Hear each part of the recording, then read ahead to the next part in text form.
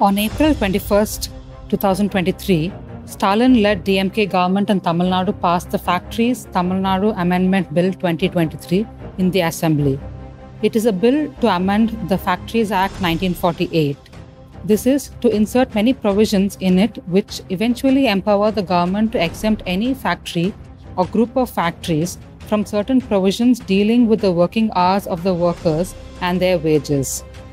The DMK government could pass this bill with their thumping majority when not only the opposition but also their own allies, including the prominent left parties and VCK, walked out of the assembly protesting against the bill.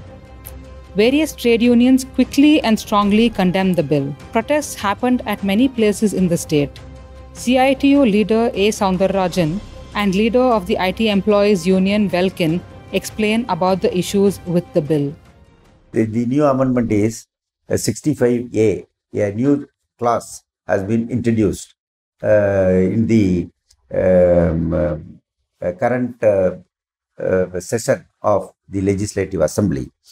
That bill says that in the Factory Act, section 51, 52, 54, 55, 56, and 59, all these uh, clauses uh, uh, may be uh, exempted to one factory or many factories or group of factories uh, like that. Factories can get exemption from these sections mean factories can uh, in, introduce working hours more than 80 hour, 8 hours and then the uh, overtime wages spread over time rest time um, all these things involved in these sections in these classes. This means that uh, employers can um, extract uh, the labor of a particular worker uh, workers uh, whatever uh, time they want. That means the government is giving uh, um, all uh, support. Government is giving every uh, chances to the manager to, to the employers to exploit the workers and in to, to maximize their profit that, that is the uh, uh, that, that is going to be the effect of this amendment the IT minister has claimed that they have enacted this because of request from IT MNCs.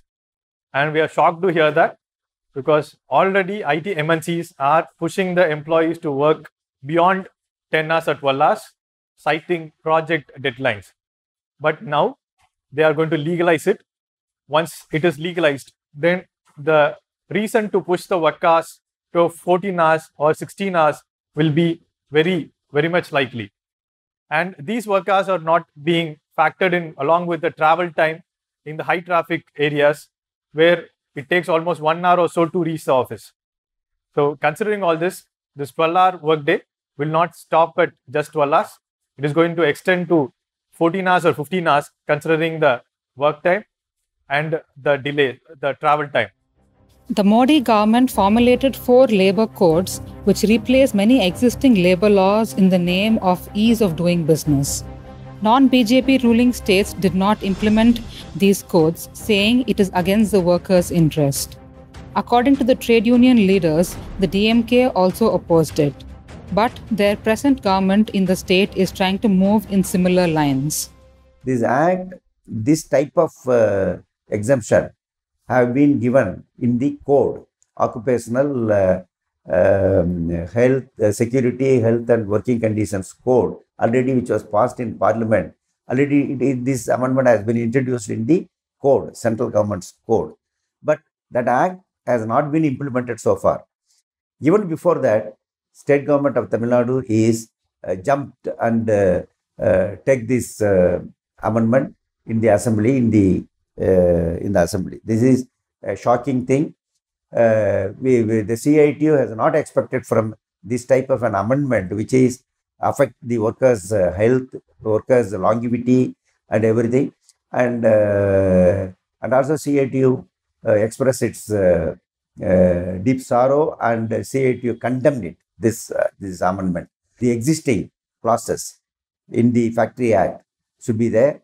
This type of exemptions to the factories, one factory or several factories or group of factories um, uh, should uh, spoil the industrial relations, should spoil the industrial peace in, in Tamil Nadu. Uh, certainly, the workers will resist this type of amendment, this type of attack on the workers, especially the on working hours, which is more more important for the health and longevity for the worker, which is um, uh, totally uh, to be opposed by the TU, by the trade unions. We are opposing it. investments come with the idea of high exploitation. It is not going to benefit the state or the country. On the other hand, we are highly skilled laborers working in the industry with the lakhs and lakhs of employees produced year on year by the engineering colleges of Tamil Nadu. On that background, we are very attractive uh, state for investments already. Going back to 150 year of workday by this act is something regressive and it is not social justice. So on that uh, background, we uh, we like to criticize and we like to reiterate that only skill should be the factor and the manpower should be the factor to bring in more investments, not high exploitation. The once you increase 12 hours, then in a day you will have three hours shift usually for the current nine hours work. Once you increase it to 12 hours, then it becomes two day shift, and uh, one shift of employees will be unemployed. So it is not going to increase the employment in any factor, and it is going to destroy the livelihood of the employees by destroying their health without any uh, consideration to the impact it causes on the family fabrics. So considering this, we demand the government should not go ahead with this. The industrial minister has told it is only for selected uh, sector, but again, uh, it is flawed because one, the amendment states that they can exempt any industry without any. Uh, they have asked or they have got the approval from the assembly to exempt any industry. So it is not going to start stop with single industry. Moreover, the will of the current DMK government to increase the work hour, which will impact both society and the employees, will be extended to all industries and it will not only stop at particular industries.